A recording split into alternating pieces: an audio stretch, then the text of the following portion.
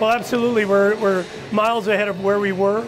I think uh, Keith Primeau, who's director of uh, Stop Concussion, along with myself, he and his brother Wayne started the organization, and now we've seen a direct change in the NHL. Now they have spotters in the arenas, making sure that players are not uh, taking uh, advantage of other players that may already sustain a concussion. We saw that last night with the Edmonton Oilers, where uh, Joonas Gustafsson uh, definitely had a concussion, and they pulled him out of the game. That was one of the spotters that recommended. So uh, it's been a long while. It's been five years in the making. Obviously, now with Sidney Crosby being out, it certainly made us even more aware that it can happen to anybody at any time.